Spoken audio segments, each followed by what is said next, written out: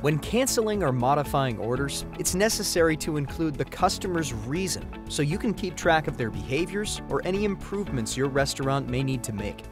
In this video, we'll learn how to create cancellation and modification reasons for orders on Sapaad POS. Let's get started. On your Sapaad account, go to Setup. Head to Global Settings and choose Order Cancellation Reasons. Click Add Reason. Type a possible reason a customer might cancel their order. For example, customer changed their mind. Click Save. To add a reason for modifying an order, go back to Global Settings and select Order Modify Reasons. Follow the same steps as adding a reason for canceling an order. In this scenario, let's add Guest Complaint. Click Save. Let's try placing some orders.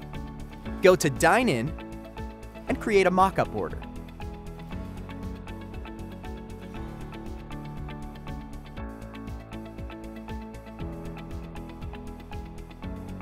Place the order. To modify an order, click on the table number. Then, click on the X button to remove the item from your order. Select a reason.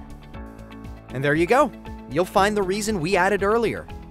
Click on it and select the inventory status from the dropdown. This option is available if you're using the Sapaad inventory module. Return to inventory will update the inventory status of the item, indicating that it's available for sale again.